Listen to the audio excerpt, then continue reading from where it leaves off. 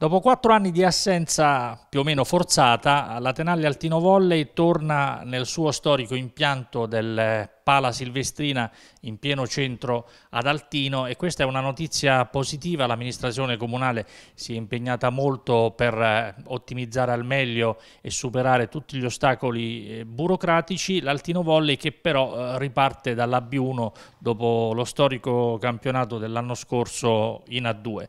E siamo a parlarne con il presidente Aniello Papa, intanto due battute sul passato e poi entriamo in questa nuova stagione un'annata amara culminata con la retrocessione, dagli errori si può trarre insegnamento per il futuro, ma a posteriori che cosa non ha funzionato principalmente?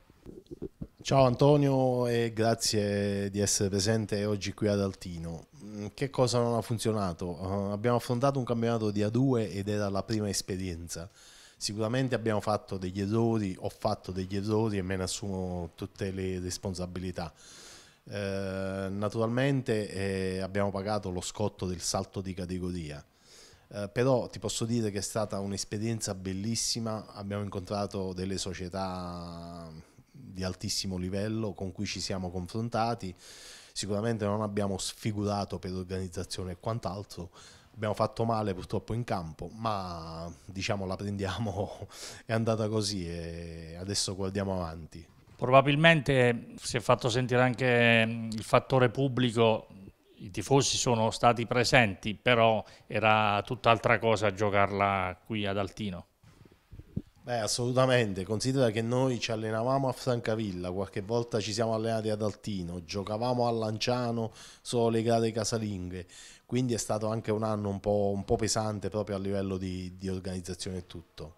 Però adesso ce lo mettiamo alle spalle e guardiamo a questa nuova avventura che affronteremo questa, in questa nuova stagione. Una nuova stagione che si apre all'insegna della riscossa, del pronto riscatto e a giudicare anche dall'allestimento del roster. Mi sembra che le premesse siano eh, più che fondate per un ottimo campionato.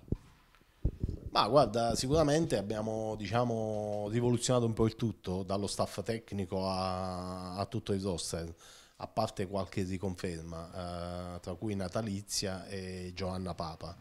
Poi eh, sono tutte nuove e, e, anche lo staff. Quindi mh, siamo molto fiduciosi, come hai detto tu è, è un roster competitivo, poi sarà il campo a, de, a, diciamo, a dirci la verità. Prima di parlare delle nuove arrivate, due battute sullo staff tecnico perché c'è stato qualche contrattempo non voluto ad inizio stagione.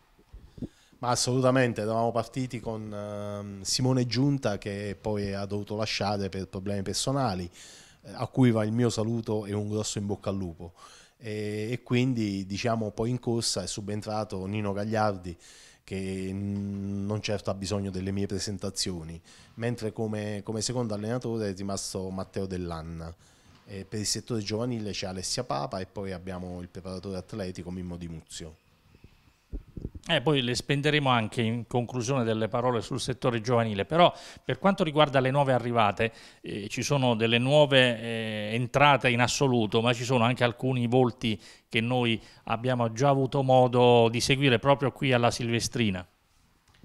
Sì, ci sono i ritorni di Alessia Montechiarini e Camillo Razzi che diciamo hanno fatto il loro primo percorso pallavolistico di B1 e B2 qui ad Altino eh, poi ci siamo lasciati per tre anni, adesso sono ritornate qua ad Altino e siamo tutti contenti. E invece le altre? Ma le altre sono tutte giocatrici che comunque hanno giocato in B1 e fatto anche campionati di vertice, quindi lo sai, non, non, mi piace parlare delle singole persone, però ti posso dire che il roster è completo in tutti i ruoli e sono tutte giocatrici di, di categoria e, e quindi mh, ci aspettiamo un, un buon campionato. Avete già avuto modo di scrutare le avversarie? Ma diciamo che il girone, questo centro-nord, è sempre un girone tosto, lo sappiamo, abbiamo affrontato 3-4 anni, ci sono squadre importanti, eh, tra cui Bologna, Trevi, Imola, eh, Iesi, ci sono tante squadre, tante squadre che ogni partita sarà una, bot- una, battaglia. Altino è presente, ci sarà e lotteremo in ogni gara come, come sempre. A livello di costi che cosa cambia rispetto a una A2? Ma che cosa cambia? Cambia molto nelle trasferte perché le trasferte in A2 sono lunghissime, quindi questo è un dato di fatto proprio. Poi diciamo i costi sono quelli, mm, sicuramente di meno della 2, ma è un budget importante anche quest'anno.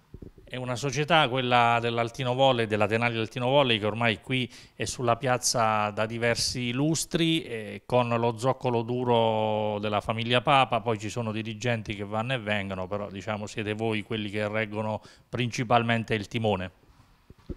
Sì, sì, diciamo oramai siamo un gruppo consolidato di 6-7 persone, eh, naturalmente eh, con, uh, con degli sponsor che ogni anno abbracciano il nostro progetto e di cui io sono molto orgoglioso perché vuol dire che lavoriamo bene e hanno fiducia in questa società.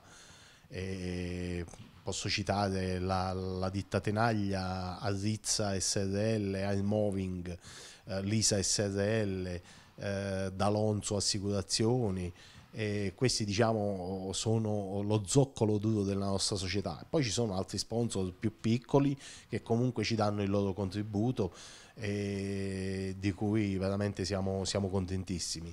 Io spero che eh, il mio augurio è che si avvicinino ancora più persone oggi che siamo ritornati ad Altino perché eh, la pallavolo ad Altino è un qualcosa di importante e, e va valorizzata, eh, deve essere un motivo di orgoglio per questo Paese.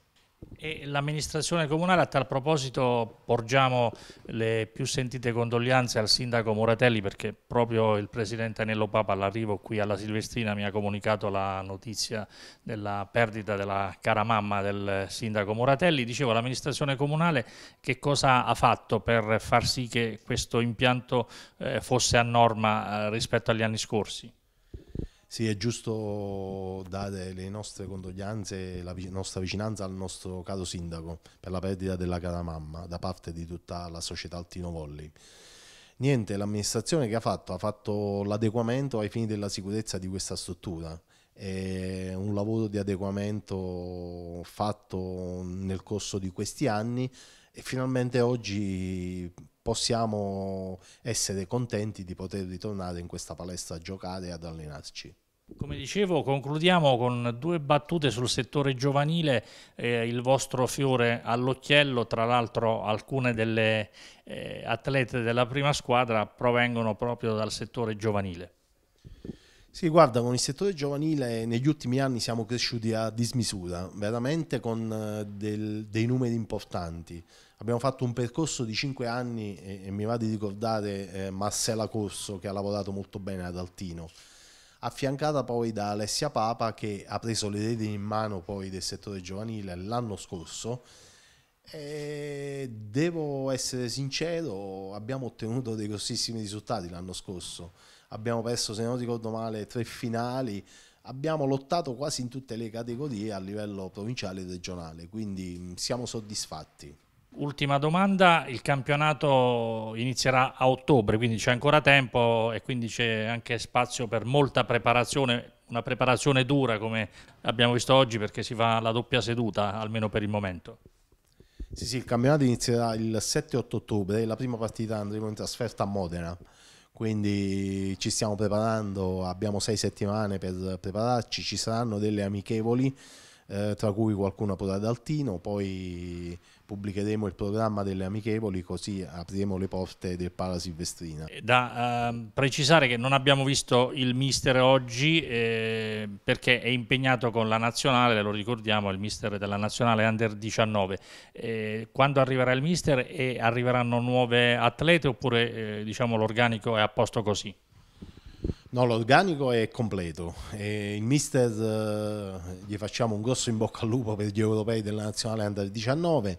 Eh, attualmente sono in ritiro, quindi lui rientrerà in Italia il 5 settembre e si metterà subito a disposizione della società.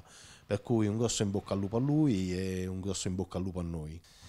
Poi voglio ringraziare le persone che eh, diciamo sono più vicine a me, tra cui Michele Vesatti, Gabriele, eh, il nostro dottore Rucci, Vincenzo il fisioterapista eh, e tante altre persone eh, che ci seguono.